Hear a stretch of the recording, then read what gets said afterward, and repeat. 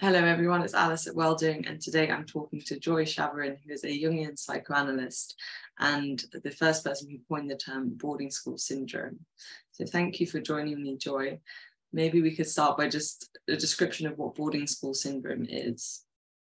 So boarding school syndrome is something that I noticed in my patients over a period of time and the patients of other people too.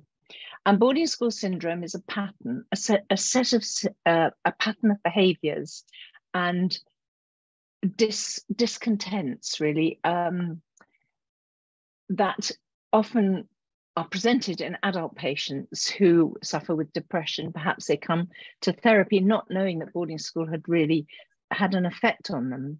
But what they often describe is something similar problems with intimacy, often broken and failed relationships, uh, a, um, a set up of um, a very commonly cutting off from emotion, cutting off from the, the loved person. So in a relationship, cutting off before the person abandons them. And we can trace that back to, to what I call the ABCD of boarding school syndrome. The causes are abandonment, then there's bereavement. What we call homesickness is actually a form of bereavement. That the child is bereaved, they have lost everything. They've lost all these attachment figures, really, and they are, are bereaved. So that is similar to what's described as bereavement. When somebody dies, it's like they're suddenly alone they're lost, they start searching. All the things that Colin Murray Parkes talks about, about bereavement, are replayed with a child in a boarding school. So they first of all can't believe it, they're shocked. They then start searching and thinking, bargaining. Well, you know, if I'm really good, maybe they'll come and get me. Um, because often children feel they were really bad and that's why they've been abandoned. How else does a child explain their parents just leaving them? With strangers. So the child is bereaved, they are bereft. The, the grief they feel is so genuine and it's called homesickness. Children are often told, just get on with it. You're homesick. You're just feeling um, they are sick because they're missing home, but actually it's bigger than that. And I think to use the term bereavement means that there's a phase of mourning they go through.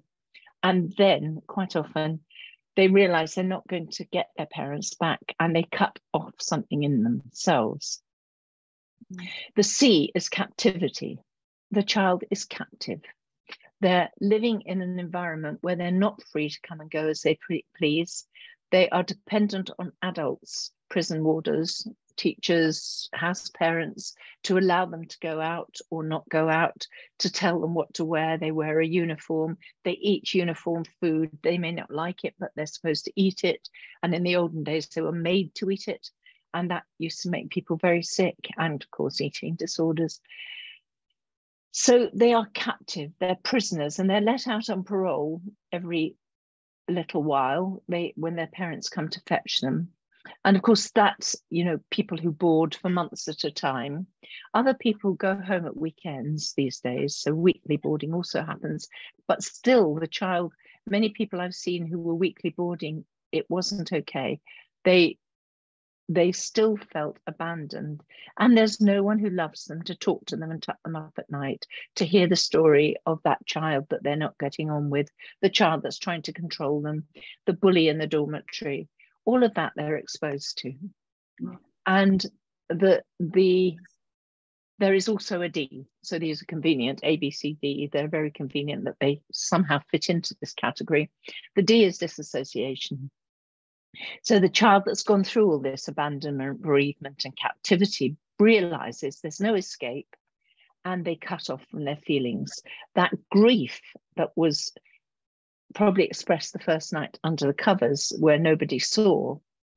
Um, and sometimes children cry for a week. I mean, some people, especially girls, I've known, I know one girl who was weekly boarding and cried for two years, every single Monday when her mother brought her back, and longed for the the one phone call she had in the week. And um, but they they're captive. And so what you do then is you stop crying eventually. Most people stop crying a lot sooner than she did. So you cut off from the feelings. Mm. And um, do, often does this show up in later life? So people might present with uh, depression or other kind of challenges in their in their midlife. Would that be fair to say Yes, it would be fair to say. I mean, I get letters all the time from people. I, you know, I see clients, and quite often they're people in midlife or maybe in their 40s who whose marriages have gone wrong. They're feeling depressed, or their marriage has not gone wrong, but there's something, there's some unspecific depression or anxiety, um, or sometimes terrible black moods that come upon people. Um, and they sometimes come to therapy with that as a symptom, uh, that broken relationships is quite common. Or they come to couples therapy as a couple, and the complaint is that usually he can't talk about his feelings. And uh, that is the presenting problem. And very often they do not know that boarding school is the problem. And so mm. for therapists, it's really important to be alert when somebody says they went to boarding school to not just leave that as, oh, they went to a boarding school, but actually to think, okay, so what was the first day like for you is often a really good question because the first day is so powerful. Uh, some people describe it vividly they remember that awful moment when they realized that their parents were going. They'd chosen it, maybe some of them. Had they been to the school, had a look around, it looked really nice when they're six or 10 or whatever. Um, but they didn't understand. And the parents say, well, you know, he or she really wanted to go to boarding school. They read Harry Potter, Enid Blyton, Harry Potter. These people who idealize boarding schools and make it um, seem like it's really fun to be in a group of kids may realize on the moment that their parents leave that oh oh this wasn't i didn't understand that bit. I didn't understand my parents were going to leave me here with strangers with people who don't love me. And um, what might you say to someone who who has heard about boarding school syndrome and it resonates with them but they think that's the past is the past and there's nothing that can be done about that. Do you think therapy could play a role for that person? Absolutely. If somebody if somebody's read about it and feels a bit desperate but recognizes that they're open.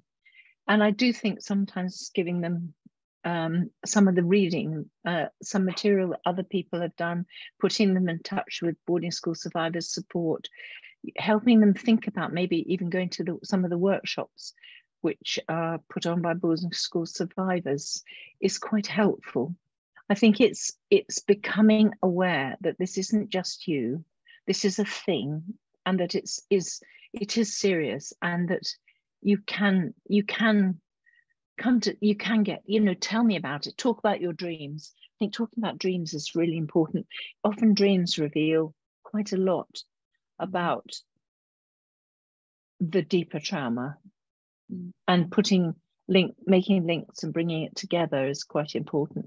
And the thing about people being taken into care that comparison between boarding school and being taken into care because children in boarding school are actually children in care mm. and that's that's really important because I think if you make that connection for people, they sometimes can see it. It's like people who are adults find it very hard to have sympathy for the child they once were. People often come for therapy when their child gets to the age they were when they went to boarding school. And they suddenly look at this child and they think, was, was I really that little? And, and that often uh, can make them quite upset or very angry with their parents. And mm. so there's an awful lot of material there, mm. potentially. Mm. That does help people. It does release people to express that to a therapist. It does release them um, eventually from being gripped by it. I mean, it's not going to go away because nothing about us ever goes away. It's just part of your story. And if it can be part of a story you can tell, a narrative, then that is so much easier than having this tangled mess inside you of pain, Whereas if you can say this pain is caused by this and that, and these elements go to make up what causes the pain and caused it originally.